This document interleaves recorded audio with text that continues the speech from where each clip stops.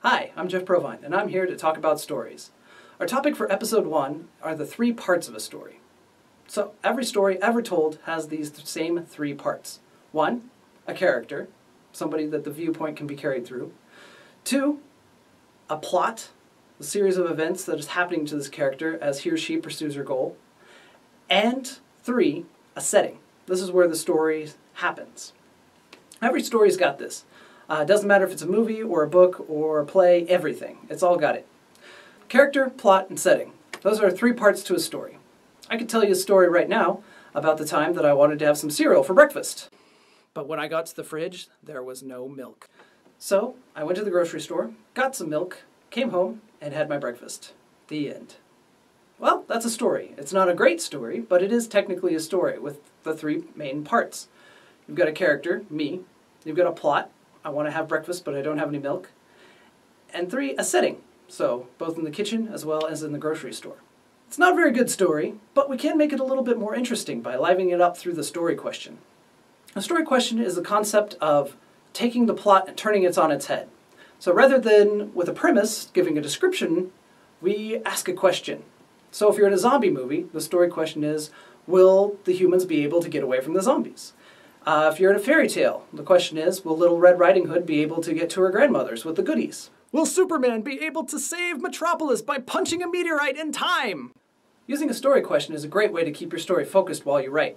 You don't want to get off track, and if you're not answering the story question or adding some conflict to it, you're getting off track. Going back to my own story, we could make it a little bit more interesting by maybe adding some antagonists. So, what if I got to the grocery store and it was currently being robbed by ninjas? So, to get to the milk, I have to fight my way through these ninjas and then be able to fight my way back to the register, get the milk, and then I can go home and have breakfast. It's a little bit more exciting of a story. We could make the story a little tragic too by instead of ninjas, I get to the grocery store and find out that there's only one jug of milk left and it's between me and a single mother who's got three starving kids. So, I'll have to fight all of them off to be able to get the milk back to the register and then get home. Or maybe when I get the milk and get home, I realize too late that I'm in fact lactose intolerant. So we have a story. Possibly not the greatest story ever told, but it does its job. It has the three com- components, and the cool thing about stories are they blossom in any possible way. Every single one's going to be a little bit different. Even if we get an infinite number of different stories, they're all still going to need those same three key components character, plot, and setting. So, to illustrate these three points, we're going to talk about the Iliad by Homer. This is a story 3,000 years old, and there's a reason it's still being told. When most people talk about the Iliad, they ask what it's about. And people will say, oh, it's the Trojan War. But that's not entirely accurate. The Trojan War was a huge event taking place over 10 years. That'd be kind of like somebody saying, you know, what's your book about? And you say, World War II. Well, what about World War II? A lot happened. Just like that, the Iliad isn't about the Trojan War. It actually takes place over the course of about a week, maybe two weeks at most. So it's the story of this guy named Achilles and how he got his groove back. The Iliad starts with a plague in the Greek camp. So they've been besieging Troy for years now, and everything's been going pretty well until recently when it gets real bad. Thousands are sick, hundreds are dying, and the Greek kings get together to see what they can do about it. During the meeting, a prophet of Apollo comes in. Turns out they had recently raided a temple of Apollo, which everybody was pretty proud of, but Apollo didn't like them kidnapping the priestesses, especially the head priest's daughter. So to stop the plague, all they have to do is turn over the head priest's daughter. The problem with this is that Agamemnon, the head of the Greek kings, uh, kept her as his war bride.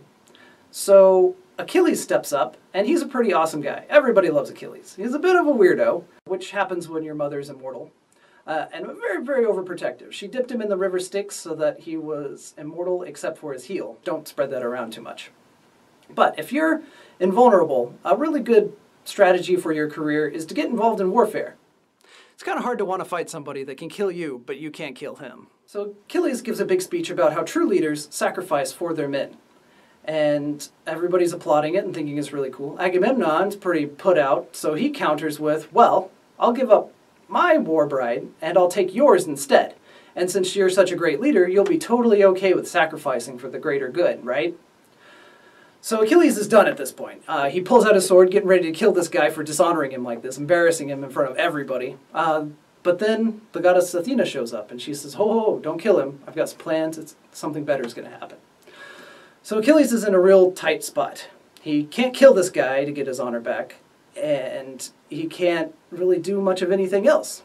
So he's got to figure out some other way. Instead, uh, he decides to quit. Uh, he and his soldiers, the Myrmidons, are done. Uh, they're going to take their ball and go home. Achilles also gives one of the best insults in all of literary history. He calls Agamemnon a old sack of wine. So the only thing good he's doing is, is holding wine, and he's not even good at that because he's going to break. Hilarious. So the next day, everybody goes out to battle, and the Trojans realize that Achilles isn't here. And they're like, hey, that guy we can't kill. He's not trying to kill us. Let's go kill everybody else.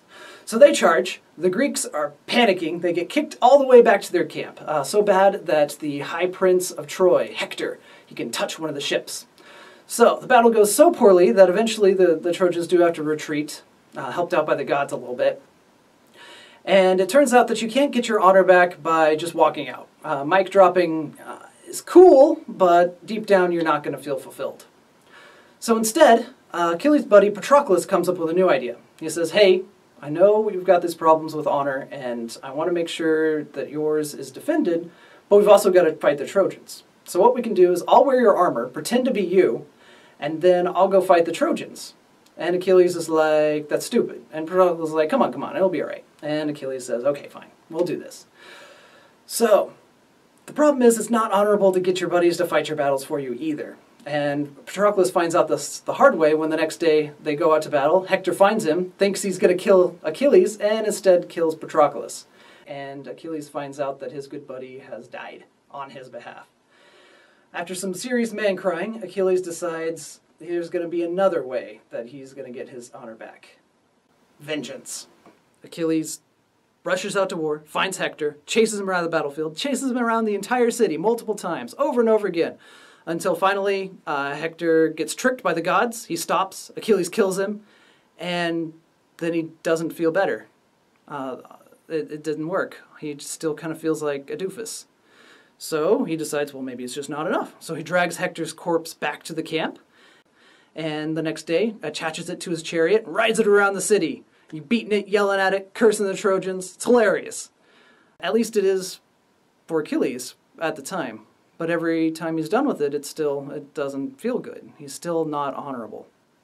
One day, after a busy time of corpse beating and Trojan cursing, Achilles is there, man crying in his tent, uh, when suddenly the tent flap opens, and in walks Priam, the king of the Trojans. So he's this little old man, and Achilles is a big, strong warrior guy. All he has to do is grab this old guy, hold him for ransom. The Trojans have to open the gates. War over. Achilles would be the greatest hero that there's ever been. But Achilles knows honor, and it's not honorable to kill your guests. So Achilles says, Hey, old man, what's going on? And Priam says, Listen, I'm not here as king of the Trojans. I'm here as Hector's dad.